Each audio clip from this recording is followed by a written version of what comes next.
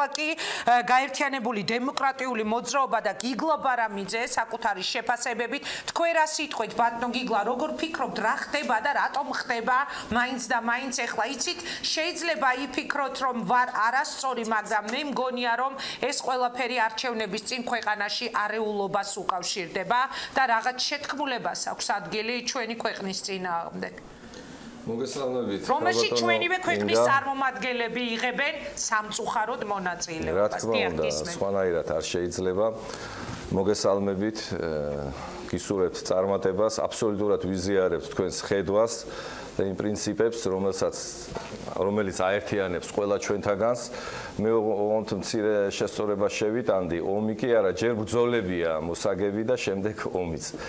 იმიტომ რომ მე არა ვარ დარწმუნებული რომ ჩიტი გაფრინდა უკვე ასე ვთქვათ ეს ფაილები ასლები გატანილია საქართველოსთან კარგა ხანია როცა ანადგურებდნენ უკვე გატანილი იყო მაშინ და რას ანადგურისთვის ანადგურებდნენ სამხილები რო გაანადგურეს ეს კიდე მეორე საკითხია და ამაზეც ვილაპარაკებ ამიტომ მსგავსი სიბინძურეების გამოქვეყნება სხვადასხვა მიმართულებით კიდევ არის მოსალოდნელი და ეს არის ძალიან სამწუხარო მაგრამ თავარი ალბათ ჩვენ ყველაფერს უნდა შევხედოთ ცოტა უფრო მასშტაბურად სახელმწიფოებრივი ხედვა უნდა ვაწუხებდეს ჩვენ ამ ამ შემთხვევაში და არა კონკრეტული ვიღაც ვიგინდარის მიერ რაღაც გაუგებრობა ატვირთული ჯერ ესეთი კიდევ დასამტკიცებელია ავთენტური არის თუ არ არის.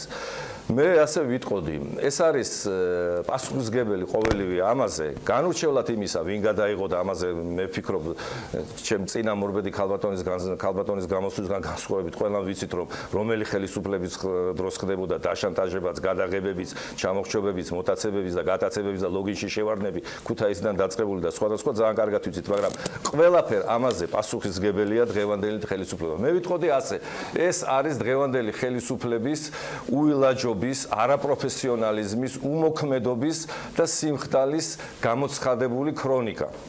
როდესაც ჩვენ ჯერ კიდევ 2012 წელს საზოგადოებას და პირადად ჩვენ, ჩვენი პოლიტიკური ორგანიზაცია და საზოგადოება ეუბნეოდა რომ სვავდა კითხვას, რატომ არ ხდება სისტემური დანაშაულის გამოძიება, რატომ არ ხდება რატომ ხდება ასეთ დანაშაულის მქონე გაერთიანებასთან კოჰაბიტაცია, რატომ არ ხდება ოფშორულ ზონაში გატანილი მილიარდ მილიონებ მილიონებზე რეაგირება, რატომ არ ხდება ფაილების გამტანების დაკავება და მათზე რატომ არ ხდება? რატომ არ ხდება? იმიტომ რომ თქვი სიტყვა არაპროფესიონალიზმი. როგორ საუბარია სპეცსამსახურებზე, რომლებიც როცა ჭირდებათ, როცა დაჭირდათ რუსთავი ორის რუსთავი ორთან დაკავშირებით რაიმე სერიოზული გამოსულები რო არ ყოფილიყო, გამოვარდა ღია ეთერში სპეცსამსახურის უფროსის მოადგილე და დაანონსა სულ უახლოეს აღიზრა სიცხლის სამართლის საქმე და უახლოეს ხანებში შესაძლებელია ჩვენ მოგითხრობთ სახელმწიფო გადატრიალებისა და შეთქმულების შესახებო და როცა არაფერს არ გვეუბნებიან, ასეთი რამდენია, როდესაც ჰაკიმ ფაშას კადრები არ ვიცით.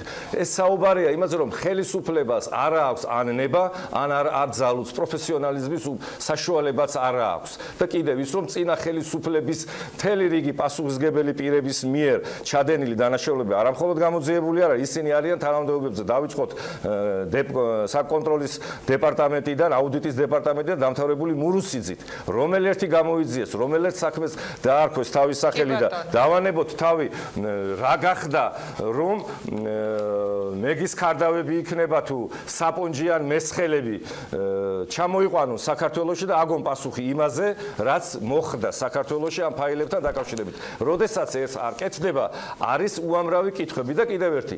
საზოგადოებაც არის გარკვეულწილად დამნაშავე, როდესაც ირჩევ ხელისუფლებას, უნდა იცოდე ვისაძლევ ხმას და ისეთ მე თქვენ ხელისუფლების კვალს ხედავთ ამამ. მე ვერ ვიტყვი, მე ჩვენ ძალიან კარგად ვიცით საიდან მოდის და როგორ მოდის, მაგრამ სანამ გამ არ დაიდება მასალები, თუ კი ესენი შეძლებენ ეს გაჭირებულები, მე პროკურატურას გულისხმობ, თუ კი რამის დადება შეძლებენ, მას მას მერე ვიტყვით, თუმცა ჩვენ ამის შესახებ არაერთხელ გვაქვს ნათქვამი და საზოგადოებაზე ვამბობ, როდესაც ჩვენ არანაირი პრობლემა და არანაირი ესეთი კაცრი სიტყვები იმ ქალბატონის მიმართ, მაგრამ ბავშვის გასეირნების ნაცვლად მე-16 სართულზე უთulis ვიღაცა უცხოელს სექსუალურ აქტს სასტუმრო საქართველოში ესეთი განწყობებიც რომა საქართველოში იმიტომ იმიტომ არის რომ ვიღაცას გონია რომ მსგავსი კადრებით საზოგადოებაში მოხდება განხეთქილება მადლობა.